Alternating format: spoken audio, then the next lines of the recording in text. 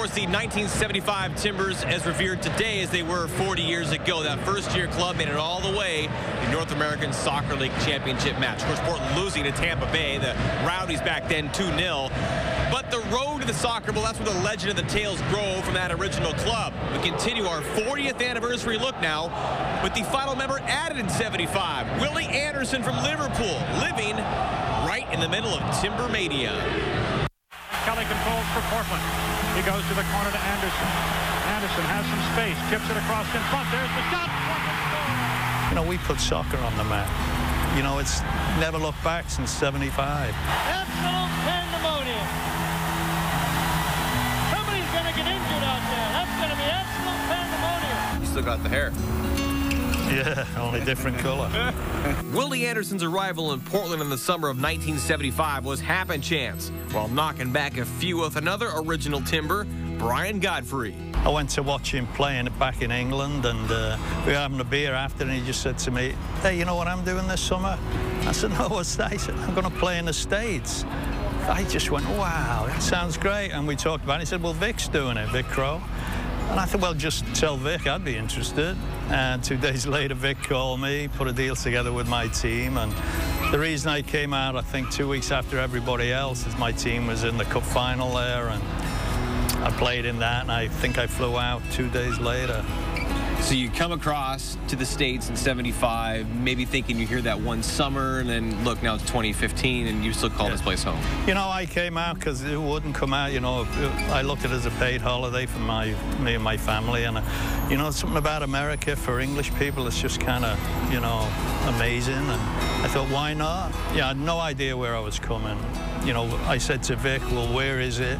He said Portland. I never heard of it. Where's Oregon? No clue. He said it's next to California. I remember- And I said, well, the weather's great then. eh?" and he went, yeah, great, just like California. And that was that.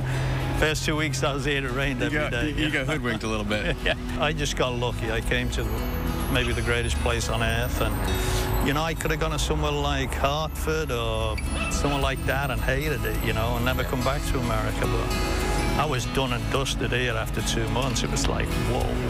Like Clive Charles and Bill Irwin, Willie played for Cardiff City before coming over on loan to play for Vic Crowe. He'd know when we go out drinking, and he'd go, "Hey guys, have a good time," and the next morning he'd run you to death, you know. but we'd we'd appreciate that, you know. I can't argue with that. Yeah. And he just kept us on a straight and narrow, you know. We knew it was going to be hard. The only way we could play was hard.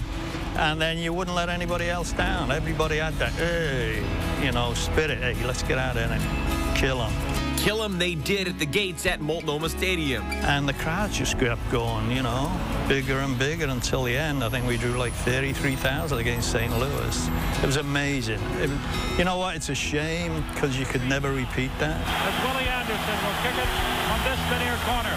Just, we were a one-off, but it was so great to be part of it. So it was just like maybe the best four months of my life, soccer-wise, ever, ever.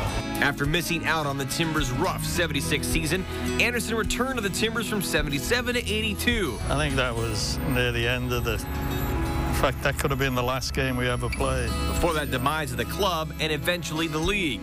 From the NASL to this thriving MLS, it's the support in Soccer City that never wavers.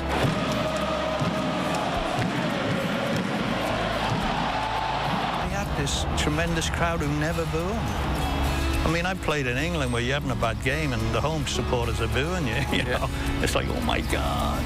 But here, they never get a bad word said to them. So they, you know, you can't lose your confidence that way here.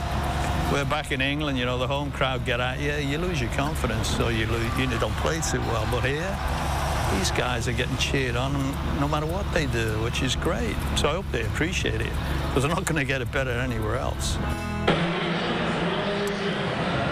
Always great talking to Willie. His youngest daughter of five plays soccer and lacrosse at Central Catholic. Is for himself, well, he's semi-retired. He calls himself coaching the Riverdale girls and also an account executive at a classic radio station here in Portland.